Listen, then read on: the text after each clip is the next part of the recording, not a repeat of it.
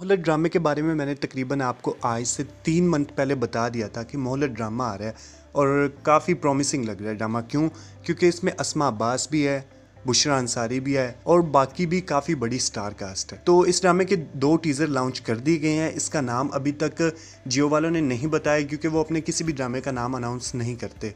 तो इसकी star cast में शामिल है समी खान एज दावर किन्जा आशमी एज महम उस्मान खान बुशरा अंसारी और असमा अब्बास और कोमल अज़ीज़। इस ड्रामे को डायरेक्ट कर रहे हैं सामिया वसीम और ये ड्रामा आपको जियो टीवी पर ईद के बाद देखने को मिल जाएगा। बात करते हैं इस ड्रामे की स्टोरी के बारे में। तो स्टोरी कुछ इस तरह है कि पहले असमा अब्बास के एक हस्बैंड होते हैं, उनमें से तीन बेटियाँ होती है। जब तीसरी बेटी होती है तो कोमल अज़ीज़ जब पैदा होती है तो वो छोड़कर चले जाते हैं क्योंकि बेटा पैदा नहीं हो रहा होता। फिर वो बुशरा अंसारी से शादी करते हैं।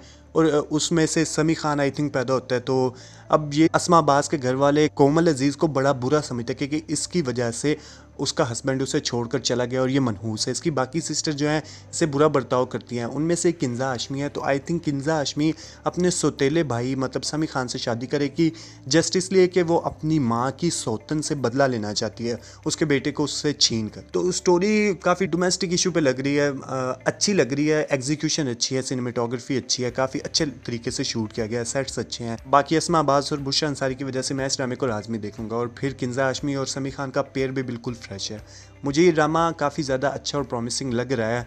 अगर स्टोरी तो काफ़ी ओल्ड है, लेकिन अगर इसकी एग्जीक्यूशन अच्छे से की जाए एक्टिंग अच्छी हो और हमें सीन्स अच्छे दिखाए जाएँ सेट्स अच्छे हों तो फिर ये ड्रामा देखने के काबिल अच्छे से हो सकता है। बाकी मैं इस ड्रामे को लाजमी देखूँगा। आपको ये दोनों टीज़र्स देख के कैसे लगे, वो मुझे नीचे कमेंट सेक्शन में ज़रूर बताएँ। वीडियो को लाइक करें चैनल को सब्सक्राइब करें। मिलते हैं अगले किसी वीडियो में, तब तक के लिए अल्लाह हाफिज़।